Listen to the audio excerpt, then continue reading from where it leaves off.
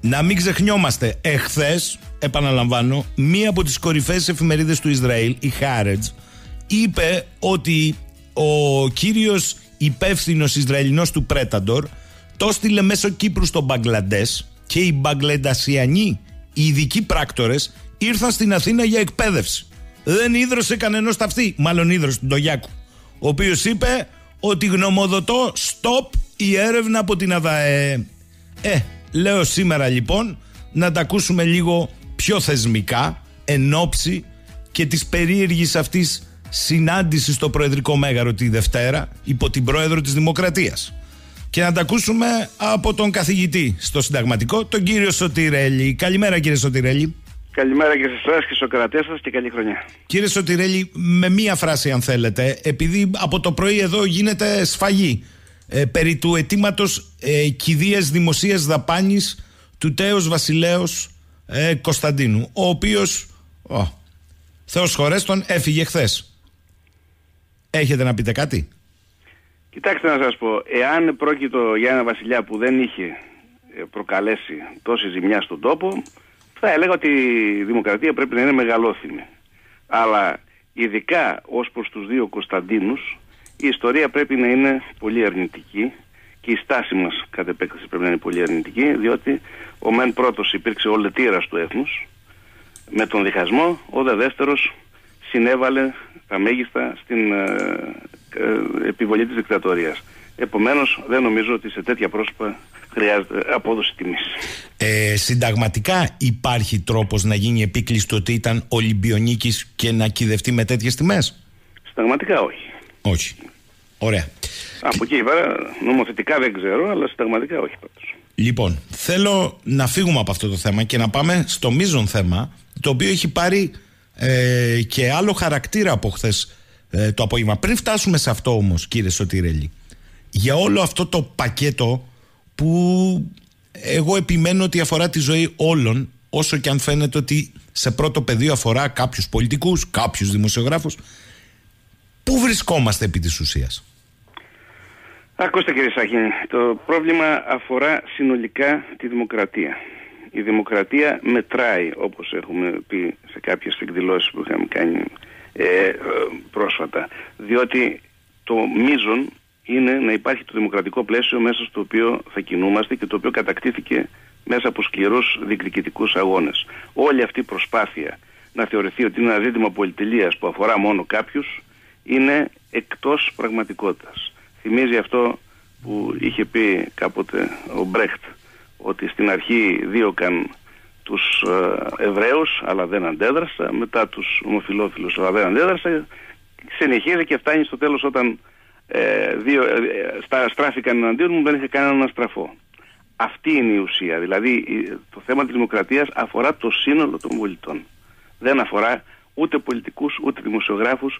Αφορά την ίδια την ουσία του δημοκρατικού πολιτεύματος, κομβικό στοιχείο του οποίου είναι τα ατομικά δικαιώματα και στα ατομικά δικαιώματα είναι πολύ σημαντική η προστασία της ιδιωτικότητας και ιδίω η προστασία του απορρίτου ανταποκρίσεων διότι συνδέεται και με την πολιτική ζωή και με τη δημοκρατία την ίδια αλλά και με την ε, προστασία της ατομικής ελευθερίας. Επομένως όλες αυτές οι παραφιλολογίες ουσιαστικά αποσκοπούν στην ε, επιβολή της ομερτά όπως έχει λεχθεί χαρακτηριστικά ενός πέπλου σιωπής ώστε να μην ασχολούνται, ασχολούνται οι πολίτες. Οι πολίτες όμως ασχολούνται.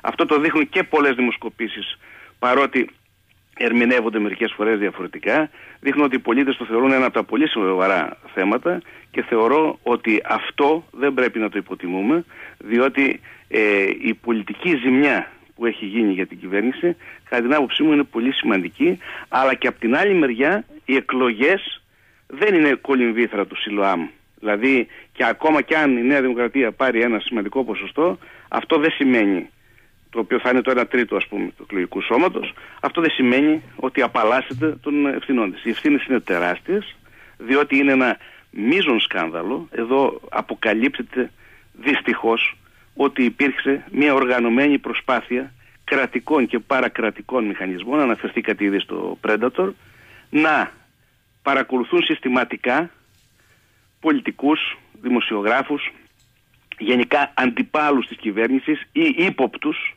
για πολιτικές κινήσεις, χωρίς όρια, χωρίς εδώ και μάλιστα από ένα κέντρο το οποίο στήθηκε στο Μαξίμου. Η ΕΕΠ πήγε εκεί με επιλογή του Πρωθυπουργού αμέσως μετά τις εκλογές, στελεχώθηκε και ως προς τα δύο σκέλη της με αποκλειστική επιλογή του Πρωθυπουργού, ο οποίος μάλιστα επέβαλε τον διοικητή της ΕΕΠ αλλάζοντας τον νόμο γιατί δεν είχε τα προσόντα, επέβαλε μια εισαγγελέα η οποία είχε αντιδράσεις και από τον πρόεδρο και από τον εισαγγελέα του Αριού Πάγου που την καταψήφισαν στο δικαστικό συμβούλιο. Οριακά εγκρίθηκε ο διορισμός της εκεί με 6-5, παρά αυτά την επέβαλε και, παρά, και αφού στήθηκε αυτός ο μηχανισμός ουσιαστικά ε, ανατέθηκε στο δεξί χέρι του Πρωθυπουργού στον ανιψιό του, τον κύριο Δημητριάδη. Είστε από αυτούς που έθεσαν και θέμα παρέτησης. Ακριβώς. Κοιτάξτε, το σκάνδαλο αυτό είναι ένα σκάνδαλο μίζων. Είναι ένα σκάνδαλο το οποίο ουσιαστικά δυναμητίζει το δημοκρατικό χαρακτήρα του πολιτεύματος. Και υπ' αυτή την έννοια, όταν υπάρχει τέτοιο σκάνδαλο και όταν πολιτικός προϊστάμενος της ΕΕΠ ήταν, είναι ο ίδιος ο Πρωθυπουργός με δική του επιλογή, διότι ε, αυτός επέλεξε να υπαχθεί η ΕΕΠ στο Μαξίμου, στο Πρωθυπουργικό Γραφείο, αυτός επέβαλε και τον, και τον διοικητή της ΕΕΠ και μάλιστα με αλλαγή του νόμου γιατί δεν είχε τα προσόντα και την εισαγγελέα την αρμόδια η οποία είχε πολλές αντιδράσεις από το δικαστικό σώμα και ιδίως από τον πρόεδρο και από τον εισαγγελέα του Αριοπάγου, οι οποίοι ορίστηκαν από την κυβέρνηση μάλιστα, οι οποίοι καταψήφισαν τη συγκεκριμένη εισαγγελέα στο δικαστικό συμβούλιο και μάλιστα με 6-5 πέρασε η δικαιοδοτικό διορισμό. Όταν λοιπόν είχε τους δικούς του ουσιαστικά ανθρώπους εκεί, είναι αδιανόητο να ισχυρίζεται κανεί όταν την υπόθεση πολιτικά χειριζόταν το δεξί του χέρι, ο ανιψιός του, είναι αδιανόητο να θεωρηθεί ότι δεν ήξερε ο Πρωθυπουργός αυτά που γινόταν. Ακόμη όμως και αν δεν ήξερε, τότε και πάλι η παρέτηση ήταν η μόνη θεσμικά αξιοπρεπής λύση, διότι η πολιτική ευθύνη είναι αντικειμενική και είναι μη μεταβιβάσιμη. Δεν μπορεί δηλαδή να θεωρηθεί ότι υπήρξε ανάληψη πολιτικής ευθύνης με την παρέτηση ή η πάυση, είναι, δεν είναι σαφές, κάποιων μετακλητών υπαλλήλων. Επομένως, η μόνη θεσμικά αξιοπρεπής λύση ήταν η παρέτηση. Αυτό δεν είναι μόνο πολιτικό ζήτημα, όπως προσπαθούν να πούν διάφοροι δημοσιογράφοι, ε, οι οποίοι ε, προσπαθούν να καλύψουν την κυβέρνηση. Είναι και συνταγματικό ζήτημα. Το επιβάλλει και η συνταγματική θεωρία πολιτικής ευθύνης και η συνταγματική πράξη των δημοκρατικά προηγμένων χωρών. Θυμίζω ότι για παρεμφερές σκάνδαλο και μάλιστα ίσονο σημασία τελικά όπως, όπως αποκαλύπτεται, διότι εδώ είχαμε λειτουργία κρατικών και παρακρατικών μηχανισμών προς την κατεύθυνση της παρακολούθησης ενός ευρύτατου κύκλου προσώπων.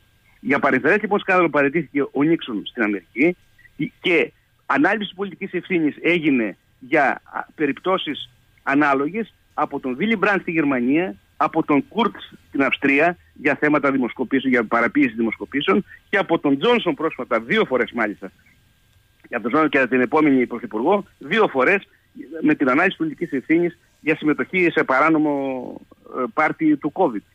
Άρα λοιπόν εδώ ανακύπτει ένα σοβαρότατο ζήτημα για τη λειτουργία του πολιτεύματος. Ο Πρωθυπουργός δεν επέλεξε τη θεσμικά αξιοπρεπή λύση. Είναι ένας Πρωθυπουργός πολιτικά απονομιμοποιημένος όχι μόνο στο εσωτερικό για τη διαχείριση σοβαρών υποθέσεων, αλλά και στο εξωτερικό, όπου δυστυχώς μας έχουν κρεμάσει τα μανταλάκια, ακριβώς γιατί μας παραλληλίζουν με την Ουγγαρία και την Πολωνία, δηλαδή χώρες που δεν έχουν ούτε δημοκρατική παράδοση ούτε δημοκρατικό παρόν. Και είναι κρίμα η χώρα μας να διασύρεται διεθνώς και βεβαίως την εικόνα συμπληρώνει και η στάση των λεγόμενων καθεστωτικών μέσων ενημέρωσης, τα οποία ελέγχονται καταθλιπτικά από την κυβέρνηση και τα οποία επιχείρησαν να επιβάλλουν μια ομερτά στην, ως προς την αποκάλυψη του σκανδάλου ώστε να μην θυγεί η κυβέρνηση. Αυτό είναι το μείζον θεσμικό ζήτημα, δεν είναι πολιτικό, είναι θεσμικό ζήτημα μείζον το οποίο πρέπει να αντιμετωπίσουμε με πάρα πολύ περίσκεψη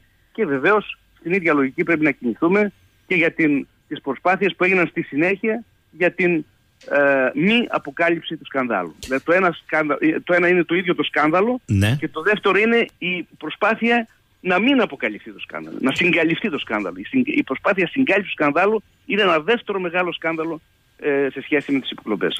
Λέει εδώ ένας αξιόλογος νέος επιστήμονας, ο φίλος μας ο Αντώνης ο Γκουρλιάς, Μπορείτε να ρωτήσετε τον αγαπητό κύριο καθηγητή, γιατί πρέπει να παραιτηθεί ο Πρωθυπουργός και όχι η κυβέρνηση, τι σημασία έχει και πόσο κρίσιμη είναι η ευθύνη του Πρωθυπουργού για το συνταγματικό και κοινοβουλευτικό σύστημα στην Ελλάδα. Η πρακτική είναι να γίνονται ειδικά δικαστήρια και τελικώς είτε ο χρόνος είτε οι πολιτικές εξελίξεις να μην αποδίδουν ευθύνες στα πρόσωπα που φαίνεται να πράττουν παρά των νόμων. Ενώ η διαδικασία πρότασης της πιστείας, όπως προβλέπεται από το Σύνταγμα, ουδέποτε στη μεταπολιτευτική ιστορία λειτουργήσε κατά κάποιο πολιτικού προσώπου. Επίσης, γιατί δεν κάνει αντιπολίτευση πρόταση της πιστείας, κύριε Σωτηρέλη, λέει, για τους βουλευτές Πάτσι Χιμάρα; Ευχαριστώ, λέει εκ των προτέρων.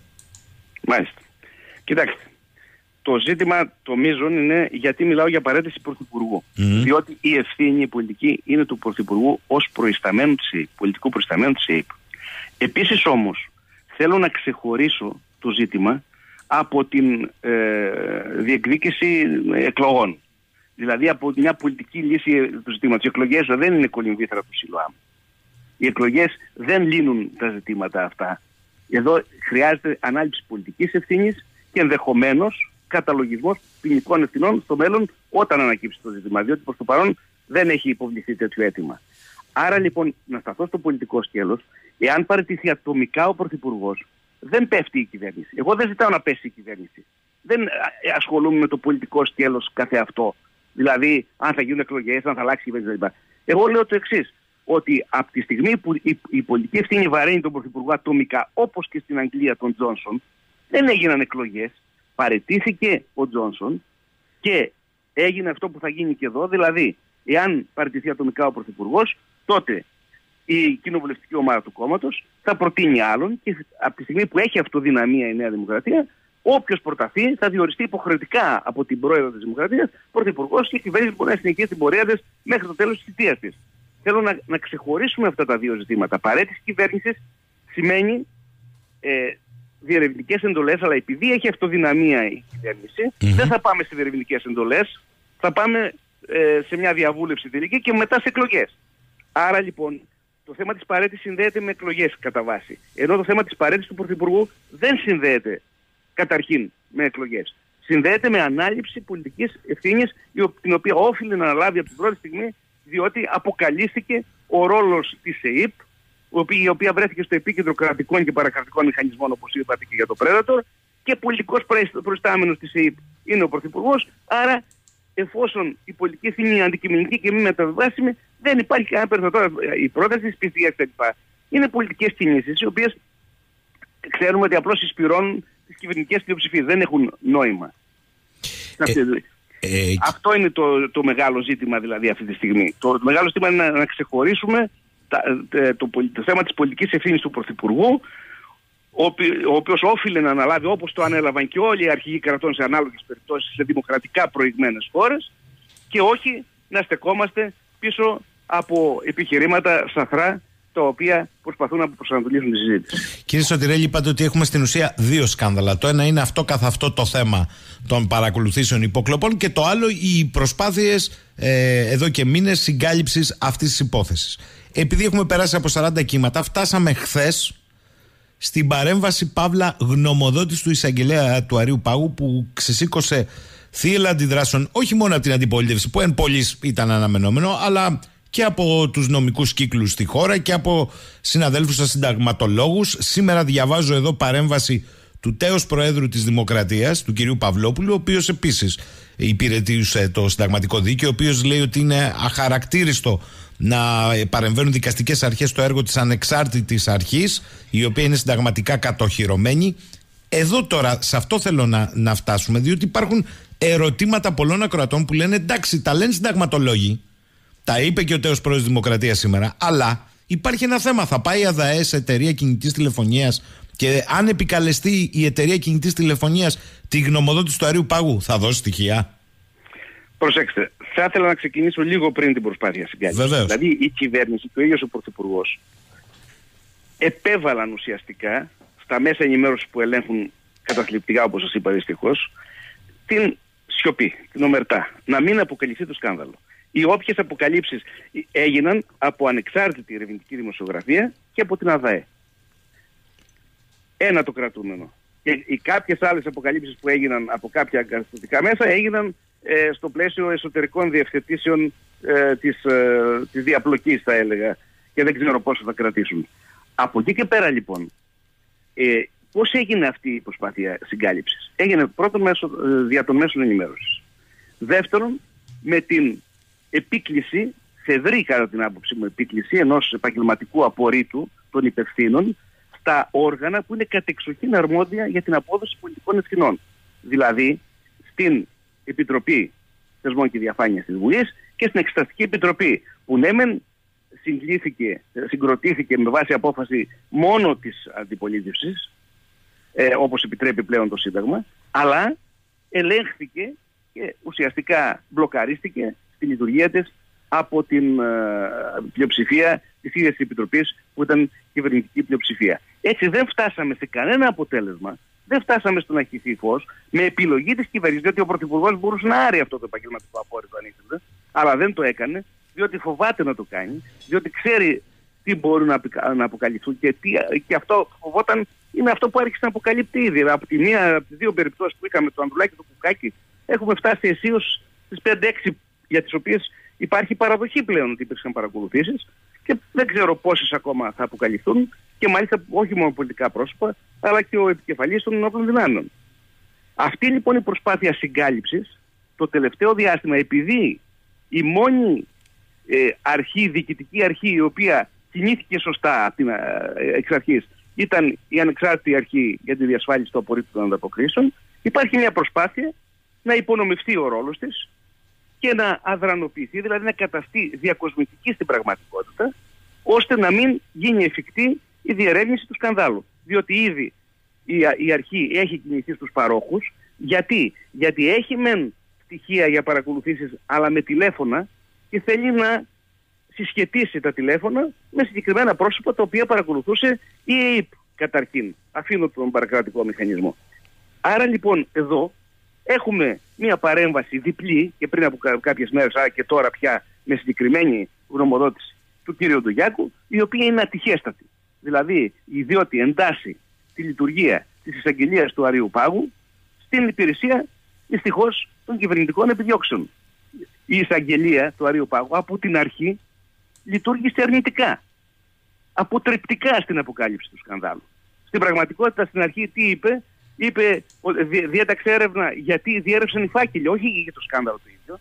Δεν απαγγέλθηκαν διώξεις για πραγματικά αδικήματα τα οποία είναι γνωστά και προβλέπονται στο ποινικό κώδικα. Η διαδικασία έρευνας βαδίζει πάρα πολύ αργά και απρόθυμα και αντίθετα υπάρχει πολύ μεγάλη προθυμία στο να ε, καλυφθεί η βούληση της κυβέρνησης, νομικά ε, υποτίθεται, ε, να μην εμπλακεί η ανεξάρτητη αρχή, γιατί τη φοβούνται την ανεξάρτητη αρχή, ε, σε ό,τι αφορά την αποκάλυψη του σκανδάλου.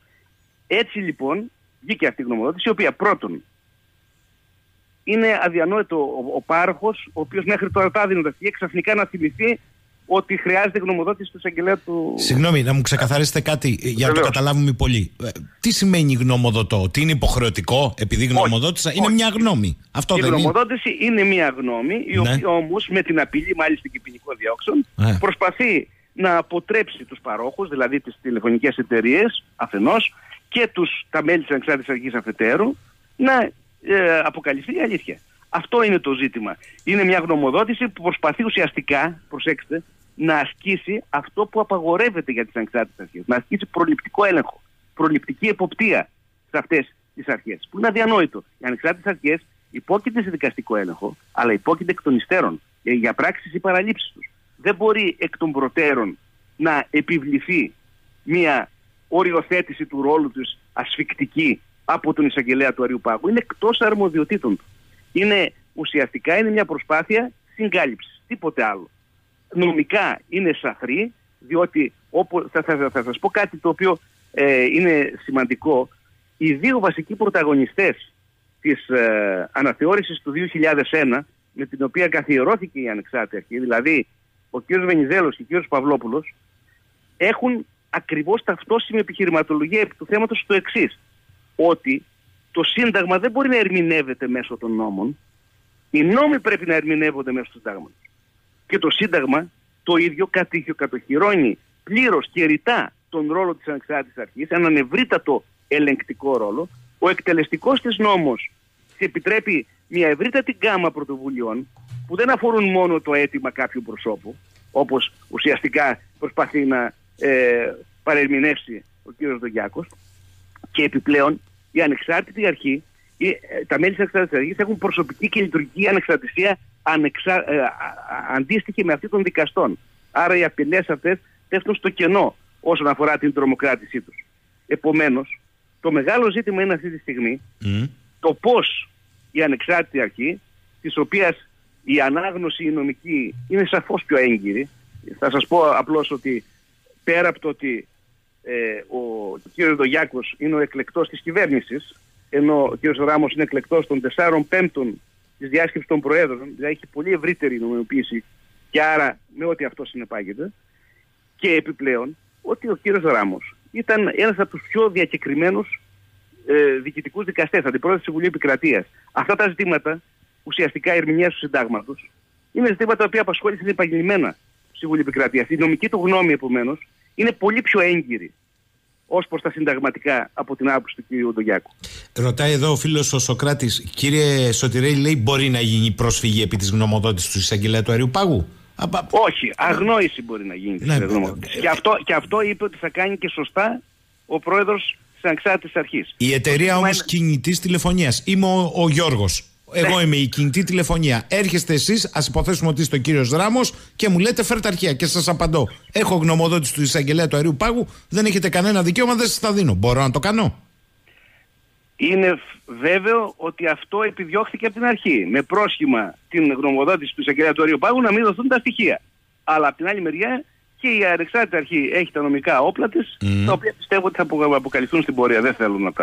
Άρα λέτε ότι στην ουσία είναι ένα τεχνικό νομικό τρικ για να παρεμποδιστεί ο περαιτέρω έλεγχος. Δυστυχώς αυτή είναι η άποψή μου και είναι μία από τις πιο ατυχείς στιγμές της ελληνικής δικαιοσύνης υπό αυτή την έννοια. Κύριε Σωτηρέλη. Ε, είχαμε ναι. είχαμε ε, προβλήματα τη δικαιοσύνη όλα τα τελευταία χρόνια και ελπίζαμε ότι θα είχαν ξεπεραστεί. Δυστυχώς το πρόβλημα της δικαιοσύνης επανέρχεται ως μείζον με αφορμή αυτό το σκάνδαλο και αυτό πρέπει να, πρέπει να μας προβληματίσει πολλαπλά. Ε, λέει εδώ ο φίλος ο Νίκος, μπορεί να μας ξεκαθαρίσει ο κύριος ε, Σωτηρέλη, με βάση τον τελευταίο νόμο που ψήφισε η κυβέρνηση. Δεν προβλέπεται ένα τριμελές όργανο. Καλά, εγώ να πω για τον τελευταίο νόμο ότι αν πάει στο Ευρωπαϊκό Δικαστήριο Δικαιωμάτων του Ανθρώπου έχει θέμα. Λοιπόν, με βάση τον τελευταίο νόμο που ψήφισε η κυβέρνηση, δεν προβλέπεται ένα τριμελές όργανο στο οποίο μετέχει ως μέλος ο, ο πρόεδρος της ΑΔΕ και όχι ως πρόεδρος και συνεπώς δεν μπορεί να κινείται πλέον ανεξάρτητα. Ο νόμος υπό ποιες προποθέσει περισχύει των συνταγματικών προβλέψεων. Και αν δεν ισχύει κάτι τέτοιο, τότε γιατί ο νόμος προβλέπει την Τριμελή Επιτροπή; Ο νόμος πράγματι προβλέπει την Τριμελή Επιτροπή, αλλά αυτό δεν ακυρώνει το συνολικό ρόλο της ΑΔΑΕ. Ο ρόλος της ΑΔΑΕ είναι πολύ ευρύτερος από αυτή τη συγκεκριμένη περίπτωση του ελέγχου μετά από τρία χρόνια με αίτημα. Η ΑΔΑΕ έχει δικαίωμα να ασκεί ευρύτατους ελέγχους ως προς την παραβίαση των απορρίτων επικοινωνιών και μάλιστα ε, σε αυτήν μπορούν να απευθύνονται και οι αρχηγοί των κομμάτων, όπως έκανε και ο Τσίπρας για παράδειγμα, όπω μπορεί να κάνει και ο Σανδρουλάκη. Άρα δεν μπορεί να περιοριστεί εκ των πραγμάτων ο ρόλος, ο συνταγματικός ρόλος της ΑΒΕ με την επίκληση ενός νόμου, ο οποίος αν ισχύει όπως τον προσπαθεί να τον ερμηνεύσει ο κ. Δογιάκο, καθιστά την ανεξάρτητη αρχή την ίδια εντελώς διακοσματική. Δηλαδή, τι θα πούμε, ότι το Σύνταγμα καθιερώνει ολόκληρη ανεξάρτητη αρχή για να μπορεί ο πρόεδρός της απλώς να μετέχει ως μέλος σε μια τριμελή επιτροπή, τότε τι χρειαζόμαστε την ανεξάρτητη. Η ανεξάρτητη αρχή είναι αρχή προστασίας του απορρίτου επικοινωνία. Σε αυτήν αναθέτει το Σύνταγμα την προστασία των δικαιωμάτων μας. Και η αρχή οφείλει να κινηθεί προς αυτή την κατεύθυνση. Οφείλει συνταγματικά, δεν έγινε στη διακριτική σε ευκαιρία. Είναι υποχρέωσή της να κινηθεί προς αυτή την κατεύθυνση. Και γι' αυτό είπα προηγουμένως, οι νόμοι πρέπει να ερμηνεύονται με βάση το Σύνταγμα και το Ευρωπαϊκό Δίκαιο. Αυτό είναι το, το ζητούμενο. Άρα λοιπόν είναι γνωστό εν πρώτης ότι η νομολογία του Ευρωπαϊκού Δικαστηρίου, με βάση την νομολογίας του Ευρωπαϊκού Δικαστηρίου, αυτός ο νόμος δεν μπορεί να σταθεί. Αλλά πέρα από αυτό, ακόμα και αν τον θεωρήσουμε ότι ε, ισχύει, ισχύει αυτή τη στιγμή, ας πούμε, ε, δεν μπορεί να υπερισχύει των συνταγματικών διατάξεων που καθορίζουν το ρόλο της ΑΔΕ αλλά και του εκτελεστικού νόμου ο οποίος αυτός είναι ο βασικός νόμος που διέπει τη λειτουργία της ΑΔΑΕ, ο οποίος προβλέπει μια σειρά αρμοδιοτήτων της ΑΔΑΕ, οι οποίες δεν έχουν καταργηθεί από τον καινούριο νόμο. Άρα λοιπόν είναι, πρέπει να ερμηνεύσουμε παράλληλα τα δύο νομοθετικά πλαίσια υπό το πρίσμα του συντάγματος. Αυτή είναι η σωστή συστηματική και τελολογική ερμηνεία, όπως λέμε, του συντάγματος και όχι η αφελής, θα έλεγα, και σχηματική ερμηνεία που προσπαθεί ματέως να κάνει ο κύριος Ντογιάκος. Κύριε Σωτηρέλη, θέλω να σας διαβάσω ε, μία απόστροφο από τη σημερινή δημόσια τοποθέτηση του τέος Προέδρου της Δημοκρατίας, ο οποίος είναι επίσης καθηγητής συνταγματικού δικαίου. Μην μου τη διαβάσετε γιατί έχει δημοσιευτεί στο περιοδικό Constitutionalism. Μάλιστα. Δηλαδή στο περιοδικό του Μήλου Αριστόπουλος Μάνησης, του οποίου είμαι πρόεδρος. Άρα τη γνωρίζετε. Λέει λοιπόν για τους περισσότερους τότε που ακούνε, ε, γεγονός το οποίο συνεπάγεται κατ' επέκταση ότι ο προαναφερόμενος δικαστικός έλεγχος του ντογιακου δεν επιτρέπει να οδηγεί σε οποιαδήποτε μορφής άμεση ή έμεση παρεμπόδιση της ΑΔΕ ΑΔΑΕ κατά την άσκηση των αρμοδιοτήτων της και ακόμη περισσότερο στην άμεση ή έμεση υποκατάστασή της εν προκειμένου από τα ελέγχοντα δικαιοδοτικό στη δράση της όργανα της δικαστικής εξουσίας και προς αυτή την κατεύθυνση καταλήγει σε αυτό που είπατε εσείς ότι τελικά οι νόμοι ερμηνεύονται με βάση το Σύνταγμα και όχι το Σύνταγμα με βάση τους νόμους. Ακριβώς σας είπα ότι εδώ η κοινότητα των, ε, των νομικών, των, των συνταγματολόγων εν πάση περιπτώσει ειδικότερα συμφωνεί πλήρως ότι δεν μπορεί το Σύνταγμα να ερμηνεύεται με βάση τον νόμο. Δηλαδή δεν μπορούμε να ακυρώνουμε το Σύνταγμα με ένα νόμο, επειδή τον επιβάλλει η πλειοψηφία.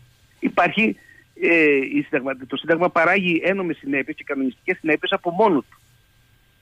Ούτως ή άλλως. Άρα λοιπόν η αρχή θα πρέπει να κινείται με βάση αυτές τις συνταγματικές αρμοδιότητες, οι οποίες όμως εξειδικεύονται από τον εκτελεστικό νόμο του 2003. Εδώ έχουμε μια διάταξη απλή αυτό που επικαλείται ο κ. Δογιάκος. Αυτή η διάταξη απλή δεν μπορεί να ερμηνευτεί αυτό τελώ, αλλά ενταγμένη μέσα στο πλαίσιο και του εκτελεστικού νόμου για την ΑΔΕ, αλλά και του συντάγματος και της Ευρωπαϊκής Σύμβασης. Επομένως, είναι πολύ σύνθετη η ερμηνεία του συντάγματος για να την αφήσουμε στα χέρια του κ. Ντογιάκου, για να το πω έτσι προκλητικά. Κύριε Σωτηρέλη, ρωτούν άλλοι ακροατές, υπό την έννοια αυτή, αποκτά άλλο χαρακτήρα κατά τη γνώμη του κ. Σωτηρέλη αυτή η περίεργη συνάθρηση της Δευτέρας υπό την πρόεδρο της Δημοκρατίας και την έχουμε χαρακτηρίσει περίεργη, γιατί θα ασχοληθεί με τα θέματα της δικαιοσύνης, που κανονικά είναι αρμοδιότητα της εκτελεστικής και της νομοθετικής εξουσίας. Εδώ τώρα ο εγγυητής του πολιτεύματος μαζεύει όλους τους παράγοντες δικαιοσύνης. Θα είναι και ο εισαγγελέας του Αριού Πάγου. Δεν θα πρέπει να τοποθετηθεί η πρόεδρο Δημοκρατίας για αυτό το θέμα, η οποία είναι επίσης προέρχεται από την τάξη της ανώτατης βαθμίδας των δικαστικών. Βεβαίως, έχει διατελέσει πρόεδρος του Συμβουλίου Επικρατείας, ήταν μια πολύ αξιόλογη ε, σύμβουλος Επικρατείας πριν να αναλάβει πρόεδρος. Κοιτάξτε, το, το ότι του συγκαλεί το ίδιο δεν νομίζω ότι είναι πρόβλημα. Το πρόβλημα, πρόβλημα θα ήταν εάν ε, υπησερχόταν έμεσα μια τέτοια συνάντηση σε τρέχοντα πολιτικά ζητήματα. Εγώ, κατά την άποψή μου, ούτε η πρόεδρο της Δημοκρατίας, ούτε η ανώτατη δικαστική λειτουργία που θα συμμετάσχουν εκεί δικαιούνται τουλάχιστον δημόσια, άλλο αν κάνουν μια συζήτηση μεταξύ τους, off the record όπως λέμε. Αλλά εάν υπάρξουν ανακοινώσεις οι οποίες θα έχουν έμεσο πολιτικό αντίκτυπο ή θα υπηρετούν έμεσα πολιτικές σκοπιμότητες όπως αυτές που υπηρετεί κατά την άποψή μου ο κ. Δογιάκο, τότε θα υπάρξει πρόβλημα. Ναι, ε, να δηλαδή, το, να το εάν, εάν τυχόν υπάρξει οποιαδήποτε προσπάθεια να ενταχθεί μια τέτοια συνάντηση στην λογική της συγκάλυψης του σκανδάλου των υποκλοπών, για να σας το πω ε, προκλητικά, τότε θα υπάρξει πρόβλημα. Ανάστροφα να, να ρωτήσω εγώ. Ο πρόεδρος Δημοκρατίας, το είπα το πολιτιακά αξίωμα mm. της χώρας, είναι ο εγγυητής του συντάγματος. Και ρυθμιστής του πολιτικού. Μάλιστα. Mm. Ω εγγυητή του συντάγματος δεν πρέπει να πει ότι το Σύνταγμα δεν ερμηνεύεται από τους νόμους, αλλά οι νόμοι με βάση το Σύνταγμα. Ακούστε να σας πω. Εγώ θεωρώ αντίθετα με, ότι, με μια πρακτική που έχει επικρατήσει σε ένα βαθμό ναι, από ναι. κάποιους πρόεδρους, ότι ο πρόεδρος της Δημοκρατίας δεν πρέπει γενικά να αναμειγνύεται σε ζητήματα της τρέχουσας πολιτικής επικαιρότητας. Ο ρόλος του τουλάχιστον επίσημα. Ο ρόλος του είναι ανεπίσημος. Όπως έλεγαν παλιά για τον Βασιλιά πρέπει να συμβουλεύει, να νομοθετεί, να προτείνει αλλά όχι με δημόσιες εμφανίσεις. Δεν είναι αυτός ο ρόλος του. Ο ρόλος του είναι να είναι ρυθμιστής και για να είναι ρυθμιστής του πολιτεύματος θα πρέπει να κινείται σε μια συγκεκριμένη κατεύθυνση. Αυτό είναι το ζήτημα και, άρα, και άλλες ε, ε, αργό, και παλιότερα που έγιναν κάποιες δηλώσεις γενικά από Προέδρους Δημοκρατίας, δεν θέλω να εξειδικεύσω, εμένα μου φαίνονται προβληματικές. Ε, κοιτάξτε ε, τώρα, ε. υπάρχει ένα ερώτημα πολλών ακροατών που λέει το εξής. Κατά τη γνώμη του κυρίου Σωτηρέλη, είναι υπόθεση ειδικού δικαστηρίου ο χειρισμός του όλου θέματος; Ακούστε να σας πω. Τώρα προς το παρόν, μιλήσαμε για τις πολιτικές ευθύνες που είναι τεράστιες. Σίγουρα υπάρχουν και ποινικές ευθύνες. Αυτές υποτίθεται ότι ερευνούν οι εισαγγελίες αυτή τη στιγμή. Γιατί υπάρχει μια έρευνα που έχει αρχίσει επιτέλους στο, θέμα αυτό. Με μεγάλη καθυστέρηση και με μεγάλη απροθυμία, όπως σας είπα, αλλά έχει αρχίσει. Σίγουρα θα ανακύψουν και ποινικές ευθύνες. Αυτό είναι βέβαιο. Το θέμα είναι ότι όταν ανακύψουν οι ευθύνες αυτές, ε, πότε ανακύπτει το ζήτημα στη συνέχεια ειδικού δικαστηρίου. Αν αυτές οι, υποθε... οι ποινικές mm. ευθύνες συνδεθούν με πολιτικά πρόσωπα, με υπουργούς και με τον Πρωθυπουργό, τότε θα τεθεί και το θέμα της ποινικής ευθύνης, δηλαδή της ε, σύστασης προανακριτικής επιτροπής για τη διερεύνηση του σκανδάλου και ενδεχομένως με βάση το πόρισμα αυτό για την παραπομπή ή όχι στο, ανώτατο, στο ειδικό δικαστήριο που προβλέπεται για αυτές τις περιπτώσεις, το λεγόμενο Υπουργοδικείο. Αυτή είναι η πορεία. Προς το παρόν δεν τίθεται τέτοιο θέμα, γιατί για να τεθεί τέτοιο θέμα πρέπει να υπάρξει ε, πρόταση Μάλιστα. συγκεκριμένη βουλευτών με βάση σαφές, συγκεκριμένα στοιχεία. Ακριβώς. Ε, ο φίλος ο Βασίλης ρωτάει, ε, άρα κύριε Σωτηρέλη λέει, με βάση και την παρέμβαση του Γιάκου, η ΑΔΑΕ μπορεί, οφείλει να ενημερώσει πολιτικούς αρχηγούς, για παράδειγμα τον αρχηγό της εξωματικής αντιπολίτευσης ή όποιον άλλον ετηθεί ενημέρωση από την ΑΔΑΕ ή μπλοκάρεται και αυτό; Μπορεί να, καταρχάς προβλέπεται η ενημέρωση των πολιτικών αρχηγών, είχε αναδρανοποιηθεί αυτή η διάταξη, αλλά δεν έχει καταργηθεί. Επομένως, εδώ έχουμε υποχρέωση της ΑΔΑΕ είναι πράγματι να ενημερώσει. Και ε, βεβαίως ε, η υποχρέωση της ΑΔΑΕ είναι τουλάχιστον να διερευνήσει για το αν υπήρξαν συγκεκριμένες ε, παρακολουθήσεις προσώπων. Τώρα το πότε θα αποκαλυφθεί και πώς είναι ένα άλλο ζήτημα. Ενδεχομένως εκεί να υπάρχει, ε, να χρειάζεται δηλαδή, ε, ουσιαστικά να προσβληθεί για έλεγχο συνταγματικότητας η ισχύουσα διάταξη, η οποία είναι προβληματική, και να καταργηθεί και η τριετία και να επανέλθει πλήρως η αρμοδιότητα στην ΑΔΕ. Αλλά και μέχρι τότε μπορεί να κάνει όλους τους ελέγχους που προβλέπονται από τον εκτελεστικό νόμο του 2003. Μάλιστα. Αυτό είναι το βέβαιο. Άρα είναι σαφές αυτό που λέτε. Εν κατακλείδη, γιατί θέλω να περάσω. Και βεβαίως ε, βεβαίως η ενημέρωση για, για το. Πρέπει να πούμε και κάτι άλλο ότι για τις παρακολουθήσεις η ενημέρωση που ζητεί και λαμβάνει η ΑΔΕ δεν είναι μόνο για θέματα εθνικής ασφαλείας, τα οποία χρησιμοποιήθηκαν εδώ προσχηματικά σαν μια έτσι, γενική αόριστη νομική έννοια. Είναι και τα θέματα διακρύβου εγκλημάτων.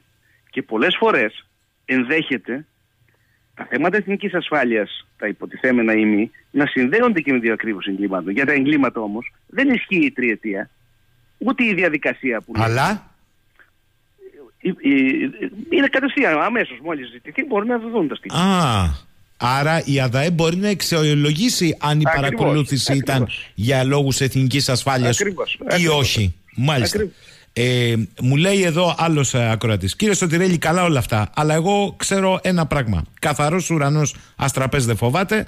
Όποιος λοιπόν δεν έχει να κρύψει τίποτα δεν τον ενδιαφέρει. Είναι έτσι; Δηλαδή. Να βάλουμε, λέω εγώ, μισό λεπτό, να δηλαδή, βάλουμε τον κοριό και την κάμερα. Μισό λεπτό, κύριε Σωτηρέλη. Ναι, ναι, να ναι, το πω εγώ. Να βάλουμε τον κοριό και την κάμερα, αφού δεν έχεις να κρύψεις κάτι, φίλε μου, και στο κρεβάτι σου. Και μάλιστα για να μην είναι και τζάμπα, ε, το Big Brother, πούλησέ το. Τι να πω τώρα. Αυτό, αυτό είναι αδιανόητο. Λυπάμαι για την ερώτηση αυτή. Δηλαδή, δεν ξέρω αν έχει καταλάβει ο ακροατής σας ότι με το Predator καταγράφονται τα πάντα, όλες οι ιδιωτικές στιγμές. Δηλαδή είναι κανείς άνθρωπος που θα ήθελε να εκτίθενται στη φόρα όλες οι ιδιωτικές του στιγμές, όλες οι προσωπικές του εξομολογήσεις, όλες οι, οι μύχες σκέψεις του, τις οποίες εξομολογείται σε ένα φίλο, σε ένα, στη σύντροφό του κτλ. να βγαίνουν στη φόρα. Αυτό είναι δημοκρατία. Τι θα πει καθαρός ουρανός στο τραπέζι φοβάται. Αυτά είναι ε, επιχειρήματα δυστυχώς στη λογική της συγκάλυψης του σκανδάλου δεν μας ενδιαφέρει το θέμα, ε, τα, τα θέματα μας ενδιαφέρουν είναι μόνο τα θέματα τα οικονομικά. Αυτό το έλεγαν και στις Ηνωμένες Πολιτείες σας θυμίζω με αυτό τη γνωστή ρίση που δεν είναι ακριβώς έτσι, the economy stupid, είναι μόνο η οικονομία ας πούμε που μετράει και αποδείχτηκε στις τελευταίες εκλογές ότι στις ε, αμερικανικές εκλογές αυτές τις ενδιάμεσες, τις πρόσφατες, ότι οι Αμερικάνοι ψήφισαν, βάζει την προσκόπηση συγκεκριμένη, ψήφισαν κατά 30% με κριτήριο τα οικονομικά θέματα και κατά 27% με κριτήριο το ζήτημα των αμβλώσεων. Τον ακροατή σα μπορεί να μην τον ενδιαφέρει το ζήτημα των αμβλώσεων. Αυτό δεν σημαίνει ότι δεν είναι σοβαρό ζήτημα, ε, ότι είναι ζήτημα προστασίας δικαιωμάτων. Έτσι, για να είμαστε συνοημένοι. Ε... Αυτά τα επιχειρήματα δυστυχώς εκπορεύονται άμεσα ή έμεσα από μια λογική κυβερνητική η οποία αποβλέπει στην κάλυψη του σκανδάλου. Λυπάμαι που το λέω, αλλά έτσι. Άλλοι ακροατές, ε, θα σα θα διαβάσω γιατί είναι ομοειδή. Δυστυχώς, λέει, δεν υπάρχουν θεσμοί που να λειτουργούν όταν τα πάντα και διαχρονικά εξαρτώνται από τον εκάστοτε πρωθυπουργό που τα ερμηνεύει ότι το κράτος είμαι εγώ. Και άλλος, λέει εδώ κύριε Σωτηρέλη, γιατί είναι τελικά τόσο εύκολο; Από την εκάστοτε εξουσία όταν εκείνη το επιθυμεί να παραβιάζει το Σύνταγμα. Τι λείπει σε επίπεδο ελέγχου και θεσμών, ίσως ένα συνταγματικό δικαστήριο; Μάλιστα, πολύ ενδιαφέροντα ερωτήματα. Το πρώτο είναι ότι υπάρχουν θεσμοί που λειτουργούν. Ε, το, ο βασικός θεσμός που λειτουργήσε σε αυτή την περίπτωση είναι η ανεξάρτητη αρχή που λειτουργήσε υποδεγματικά αλλά και ο θεσμός τύπος στο μέτρο που αναφέρεται σε ανεξάρτητη δημοσιογραφία και σε ερευνητική δημοσιογραφία. Και οι δύο αυτοί θεσμοί λειτουργήσαν. Αν δεν ήταν η ανεξάρτητη ε, δημοσιογραφία, δεν θα είχαμε φτάσει σε πολλές αποκαλύψεις. Σε ερευνητική δημοσιογραφία η οποία διεξήχθη με πάρα πολλούς κινδύνους, έτσι, και με απειλές διώξεων κτλ. κτλ. Ένα λοιπόν το κρατούμενο ότι υπάρχουν κάποιοι θεσμοί που λειτουργούν, θα ε, ανέμε, και μεμονωμένα και, και τα δικαστήρια δεν είναι θεσμοί που δεν λειτουργούν γενικά, έτσι, αλλά υπάρχουν προβλήματα εκεί. Ε, Κυρίως στην κορυφή αυτή τη στιγμή, ε, σε ό,τι αφορά την εισαγγελία του Αριουπάγου.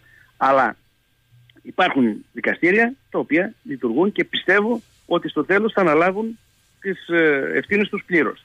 Τώρα, σε ό,τι αφορά την, τα αντίβαρα, όπως υπονοούν οι ακροατές σας, ε, πράγματι ε, είναι και δική μου άποψη ότι θα έπρεπε να υπάρχει ένα συνταγματικό δικαστήριο, το οποίο θα εξετάζει τα μείζωνα θέματα συνταγματικότητας και μάλιστα και με έναν έλεγχο πολύ πιο γρήγορο από ό,τι γίνεται σήμερα και με πρόσωπα τα οποία να μπορούν να ασκήσουν ένα τέτοιο έλεγχο. Διότι το ζήτημα είναι ότι τα συνταγματικά δικαστήρια στον ευρωπαϊκό χώρο λειτουργούν σε όλες σχεδόν τις δημοκρατικά προηγμένες χώρες και η, η αποτίμηση της λειτουργίας τους μέχρι τώρα είναι θετική. Άρα θα ήταν μια λογική το, το, το, το, το συνταγματικό δικαστήριο. Θα μπορούσαν να προβλεφθούν και άλλα θεσμικά αντίβαρα, όπως για παράδειγμα διατάξεις συγκεκριμένες που να οριοθετούν καλύτερα και με τρόπο σαφή και κατηγορηματικό ώστε να μην αφήσουν περιθώρια παρεμηνιών και τη λειτουργία της, ε, του πολιτικού ελέγχου μέσω της Βουλής και τη λειτουργία ε, παρεμφερών θεσμών αλλά και δικαστικών θεσμών που θα είναι με συγκεκριμένη όμως αρμοδιότητα ε, ταγμένες ε, στην ε, διερεύνηση σκανδάλων. Εκεί λοιπόν υπάρχει μεγάλο περιθώριο πρωτοβουλειών μεταρρυθμιστικών ε, που δεν έχει δυστυχώς αναλυθεί. Αλλά θα ήθελα να πω και ένα τελευταίο θέμα ζήτημα για τον πρωθυπουργοκεντρισμό. Ε, ο πρωθυπουργοκεντρισμός συνδέεται κατά βάση, θυμίζω, με μονοκομματικές κυβερνήσεις. Μια πολύ σημαντική λύση θα ήταν να έχουμε κυβερνήσεις συνεργασιών. Στην κυβέρνηση συνεργασιών, στην κυβέρνηση συνεργασίας, δεν υπάρχει πρωθυπουργοκεντρισμός εύκολα. Ιδίως δε αν τα κόμματα είναι πάνω από δύο, τότε ουσιαστικά ο Πρωθυπουργός είναι ένα συντονιστής όπως πρέπει να είναι. Διότι θέλω να τονίσω το εξής ότι εδώ υπάρχει μια παρανόηση ως προς το ρόλο του Πρωθυπουργού. Ο Πρωθυπουργός δεν είναι πρόεδρος Δημοκρατίας. Ο Πρωθυπουργός είναι ο συντονιστής της κυβέρνησης. Όταν δηλαδή ακούμε έναν Πρωθυπουργό όπως και τον ε, Πρωθυπουργό να λέει Εγώ αποφάσισα για αυτό και εγώ αποφάσισα για εκείνο, ο Πρωθυπουργός δεν αποφασίζει. Η κυβέρνηση αποφασίζει. Αρμόδιο όργανο κατά το Σύνταγμα για τη λήψη αποφάσεων είναι η κυβέρνηση. Εδώ σήμερα ο Πρωθυπουργός έκανε μια προσπάθεια υποκατάστασης της κυβέρνησης μέσα από ένα υπερπρωθυπουργείο ουσιαστικά που το ονόμασε ε, ψευδεπίγραφα επιτελικό κράτος. Και μέσα από αυτό επέβαλε μια προσωπική εξουσία η οποία δεν προσυδειάζει σε πρόεδρο κοινοβουλευτικού πολιτεύματος, αλλά σε πρόεδρο δημοκρατίας που είναι ένα άλλο πολιτεύμα που προποθέτει άμεση εκλογή. Και αυτή η λογική διαπερνά τη συζήτηση που γίνεται και για το σχηματισμό κυβερνήσεων. Το ότι δηλαδή ακούμε συχνά ότι είναι αδιανόητο να γίνει κυβέρνηση χωρίς το πρώτο κόμμα ή χωρίς τον αρχηγό του πρώτου κόμματος είναι εκτός της λογικής του κοινοβουλευτικού πολιτεύματος και επιτρέψτε μου αυτό να το εξηγήσω. Ε, στο κοινοβουλευτικό σύστημα, μόνο όταν υπάρχει αυτοδύναμη κυβέρνηση, αυτοδύναμη πλειοψηφία δηλαδή και άρα αυτοδύναμη κυβέρνηση. Όπως τώρα, ναι, ναι. Όπως τώρα, μόνο τότε έχουμε ανάθεση της ε, εντολής στον αρχηγό του πρώτου κόμματος.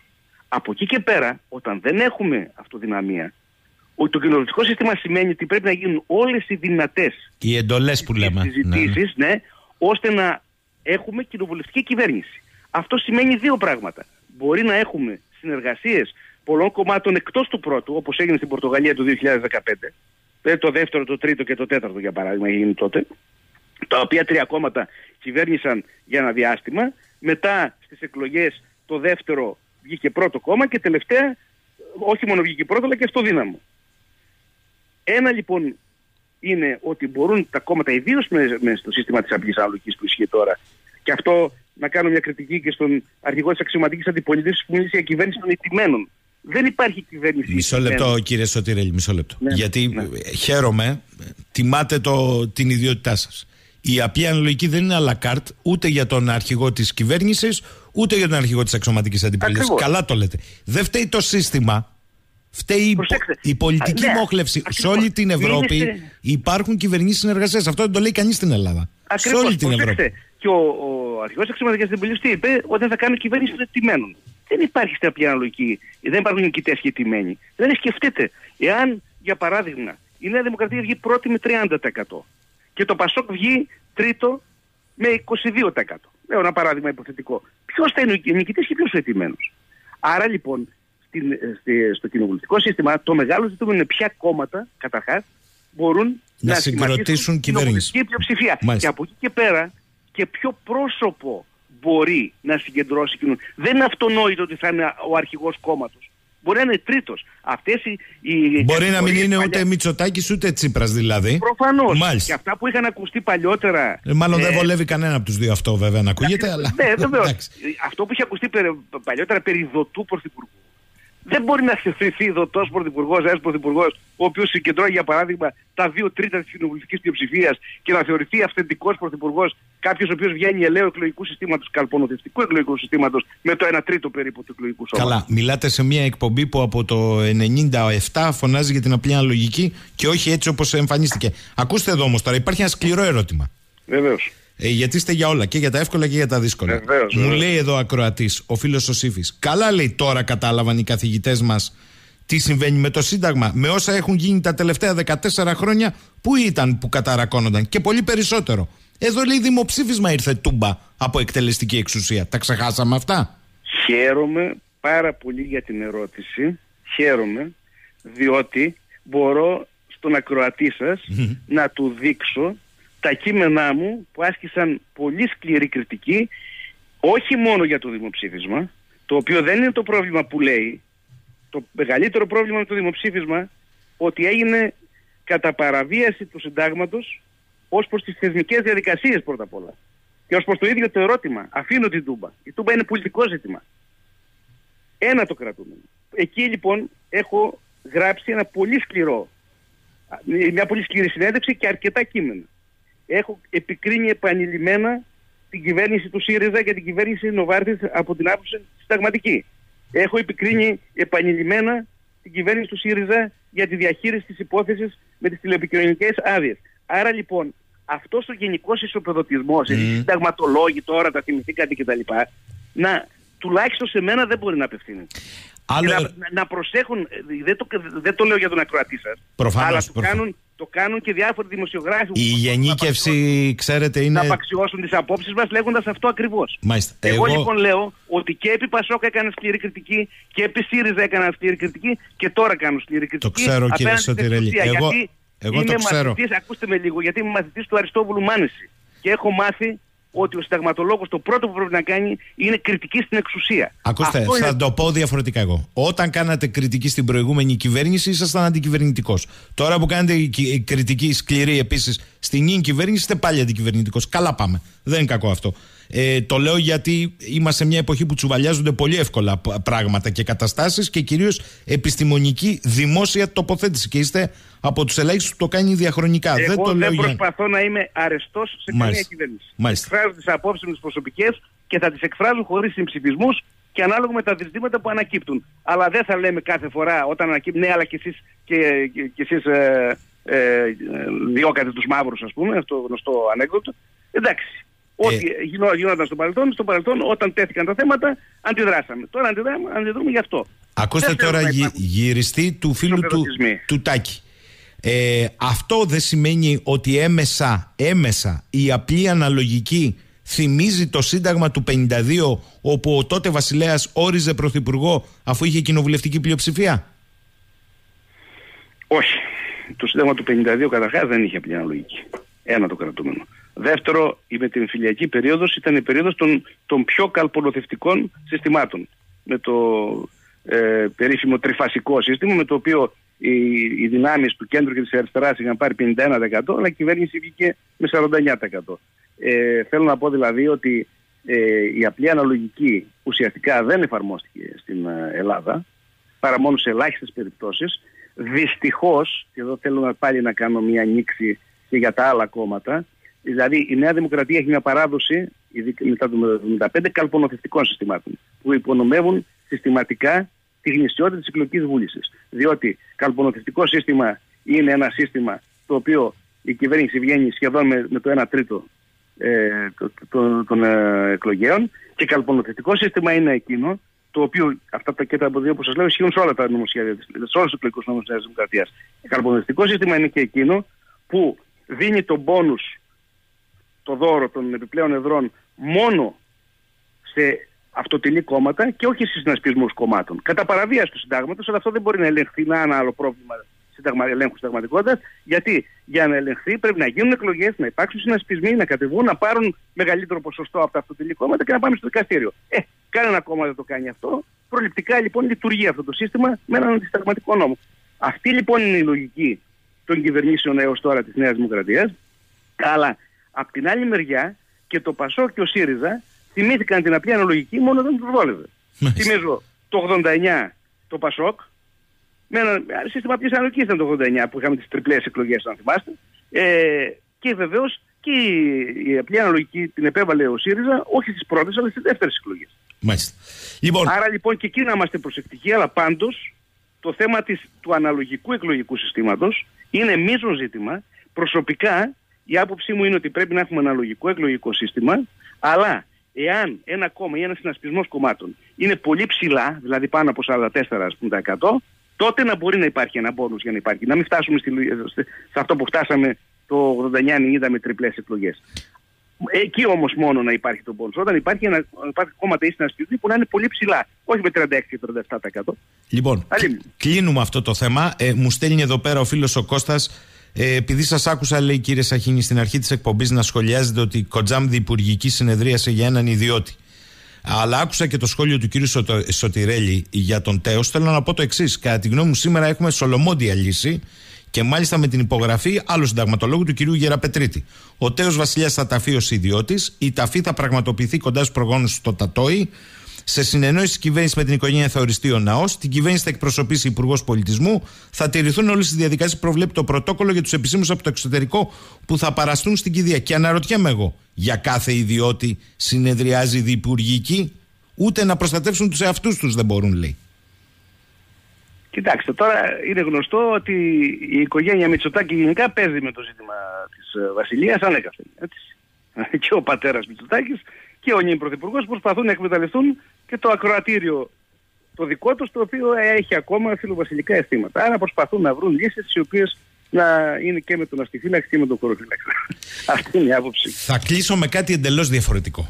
Ε, γιατί το είπα και μάλλον δεν το κατάλαβαν πολύ. Ε, το διαφορετικό είναι η τελευταία απόφαση του Συμβουλίου της Επικρατείας, ε, κύριε Σωτηρέλη, την οποία τη γνωρίζετε, που στην ουσία γύρισε πίσω την πρώτη νομοθετική πράξη του τότε Υπουργού Εσωτερικών, του κυρίου Θεοδωρικάκου, για την κυβερνησιμότητα στους οργανισμούς τοπικής αυτοδιοίκησης. Θυμίζω ότι ψηφίσαμε το 2019 με άλλο εκλογικό σύστημα και άλλες πρόνοιες για το πώς σχηματίζονται οι πλειοψηφίες και όταν ψηφίσαμε και ήρθε μετά η βουλευτική εκλογή και είχαμε νέα κυβέρνηση, άλλαξε ο τρόπος με τον οποίο εμείς είχαμε κατά νου ότι ψηφίζαμε στις δημοτικές και περιφερειακές εκλογές. Μειοψηφίες μέσα από οικονομικές επιτροπές, μπορούσαν να ασκούν διοίκηση στο Δήμο, ενώ ήταν φλιβερέ μειοψηφίες στα δημοτικά συμβούλια, το κυρίαρχο σώμα. Εσείς, σε ανύποπτο χρόνο, κάνατε μία γνωμοδότηση την οποία επικυρώνει τώρα το ΣΤΕ. Κάνω λάθος; Ε, χαίρομαι που το θέλετε το θέμα. Πράγματι είχα κάνει γνωμοδότηση, διότι είναι αδιανόητο εκ των υστέρων να αλλοιώνονται ε, οι όροι του πολιτικού παιχνιδιού. Δηλαδή, καθιερώθηκε ένα σύστημα απλής αναλογικής στους, ε, στους Δήμους, όχι ε, ε, πλήρους απλής αναλογικής, δηλαδή με σχετικοποίησεις. Για παράδειγμα, το ότι ο Δήμαρχος εκλέγεται στο δεύτερο γύρο ε, με πλειοψηφία, ας πούμε, δεν είναι θέμα αναλογικής, γιατί ένας δήμαρχος που πήρε 14% στην πρώτη εκλογή, όπως ο κ. Ζέρβας, για παράδειγμα, στη Θεσσαλονίκη, έγινε δήμαρχος. Αυτό δεν είναι αναλογικό. Ανα, αναλογική κανονικά εκλογή θα σήμαινε, κύριε Σαχίνη, αν θέλουμε να μιλάμε πραγματικά για αναλογική, η οποία όμως πιστεύω ότι δεν ισχύει μόνο στις περιφερειακές εκλογές, όχι στις δημοτικέ, θα ήταν να εκλέγονται οι σύμβουλοι και οι σύμβουλοι να εκλέγουν του επικεφαλεί, όπως γίνεται δηλαδή με την κυβέρνηση. Αλλά, εν πάση περιπτώσει, έγινε ένα σύστημα που είχε στοιχεία απλή αναλογικής.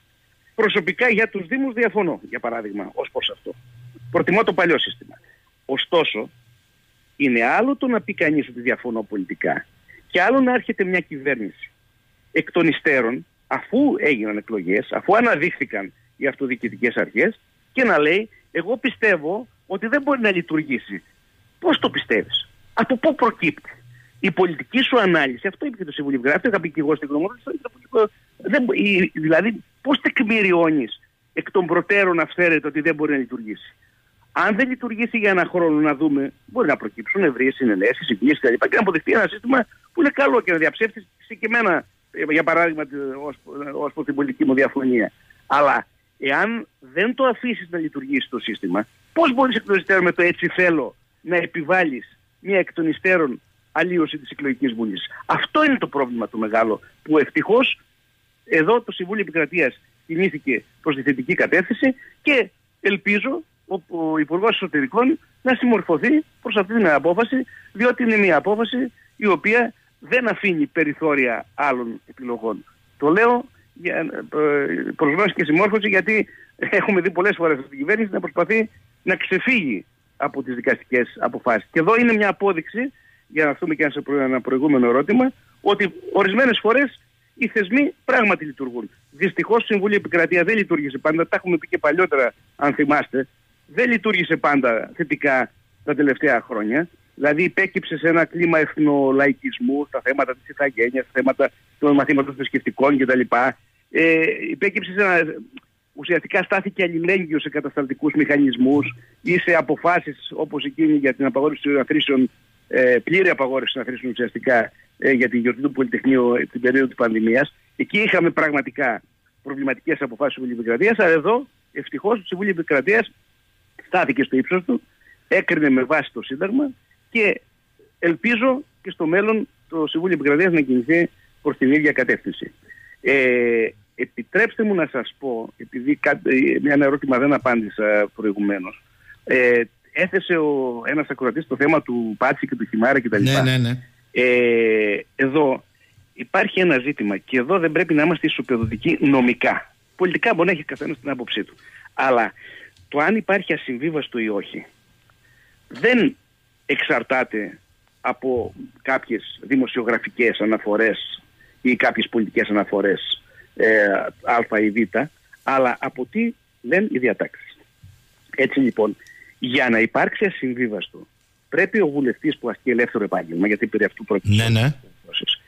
Ε, να είναι ενταγμένος σε επιχειρηματική δραστηριότητα. Δηλαδή, ασυμβίβαστο έχουν αυτοί που είναι ιδιοκτήτες, οι πρόεδροι διοικητικών συμβουλίων, οι μέτροι κτλ. επιχειρήσεων οι οποίες συναλλάσσονται με το δημόσιο, παρέχουν υπηρεσίες κτλ.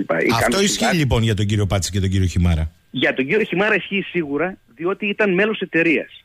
Για τον κύριο Πάτση δεν ξέρω αν ήταν μέλος εταιρείας ε, ή αν όπως γράφει και προσέξτε ότι χρησιμο, τον, τον χρησιμοποιούσαν εικονικές εταιρείες σαν δικηγόρο δηλαδή σαν άσκηση ελεύθερου επαγγέλματος, ας πούμε. Εκεί, επειδή δεν ξέρω τα πραγματικά περιστατικά, επιφυλάσσουμε. Με συγχωρείτε, το κοντζάμ γραφείο έχει εδώ στο Ηράκλειο, διαχείριση κόκκινων δανείων, δικό του. Ναι, αλλά δικό του ως τι, ως δικηγόρος ή ως ε, εταιρεία. Ε, φαντάζομαι ως εταιρεία, όχι ως δικηγόρος, αλλά εν πάση περιπτώσει καλά κάνετε και το λέτε. Αν το είχε ως επιχείρηση, εμπίπτει σίγουρα. Εγώ δεν, δεν το ξέρω, δεν έχω ασχοληθεί με το θέμα. Μάλιστα. Αλλά ε, στις περιπτώσεις αυτές που ακούστηκαν τελευταία, για το οποίο μέσα στην τιμία της Καβάλας έχω κάνει και σχετική γνωμοδότηση για την κυρία Ελευθεριάδου. Εδώ είναι αστείο το θέμα του να θεωρείται ότι υπάρχει ασυμβίβαστο. Ε, από τη στιγμή που δεν υπάρχει επαγγελματικό ασυμβίβαστο γενικά, το να αναλαμβάνει ε, στο πλαίσιο της άσκησης ελεύθερου επαγγέλματος, μια δικηγόρος, κατά αποκοπή κάποιες υποθέσεις με βάση μια απόφαση που έχει ληφθεί από το 2011 και μάλιστα με ελάχιστο οικονομικό αντικείμενο. Είναι αστείο να λέμε ότι υπόκειται σε ασύμβατο.